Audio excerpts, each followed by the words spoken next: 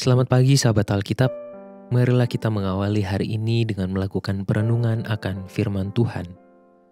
Bacaan Alkitab kita pada pagi hari ini berasal dari kitab Daniel pasalnya yang ke-6, ayatnya yang pertama sampai ayatnya yang keempat. Darius, orang media, menerima pemerintahan ketika ia berumur 62 tahun. Lalu berkenanlah Darius mengangkat 120 wakil-wakil raja atas kerajaannya.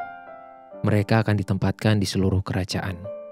Membawahi mereka, diangkat pula tiga pejabat tinggi, dan Daniel adalah salah satu dari ketiga orang itu. Kepada merekalah para wakil-wakil raja harus memberi pertanggungan jawab supaya raja jangan dirugikan.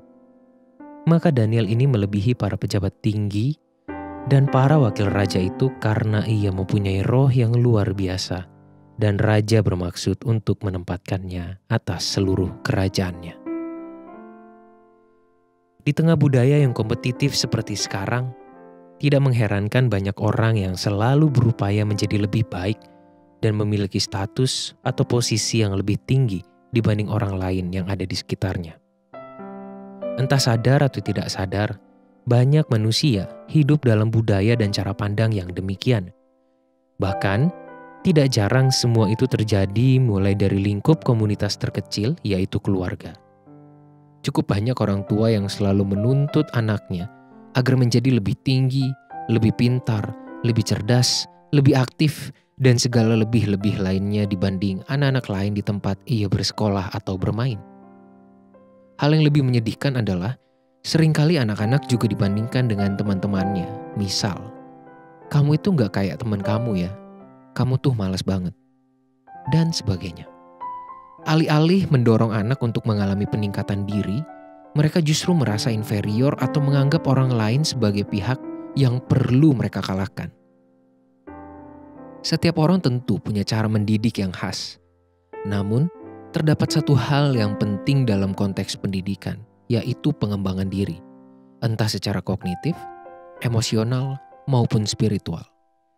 Pengembangan diri ini pun perlu terjadi secara holistik agar tidak menimbulkan ketimpangan pada bidang-bidang tertentu sebagai seorang manusia.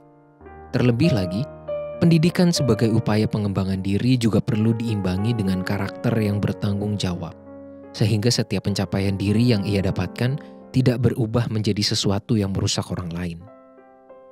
Perikop mengenai dipilihnya Daniel sebagai salah satu dari ketiga orang dengan jabatan tertinggi dalam kerajaan Babel, memberikan kita sebuah pelajaran penting, yaitu potensi yang berkembang akan menuntut tanggung jawab yang juga semakin besar. Jabatan baru yang Daniel dapatkan bukan sekedar keberhasilan personal atau juga kemenangan dari orang lain. Justru jabatan yang baru menuntut tanggung jawab yang tinggi agar Daniel mampu memenuhinya.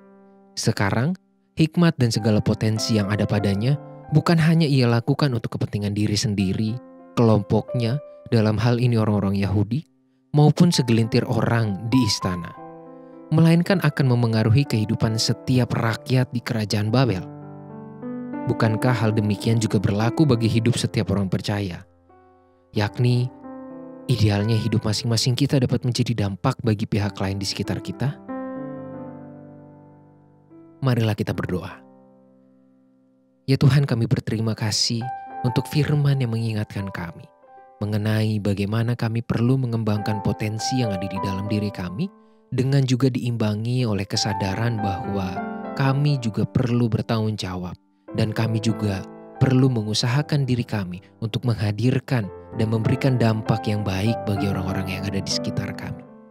Mampukanlah kami untuk melakukan dan mewujudkannya. Biarlah itu menjadi pewujudan iman kami kepada Engkau. Di dalam nama Tuhan kami Yesus Kristus kami berdoa dan mengucap syukur. Amin.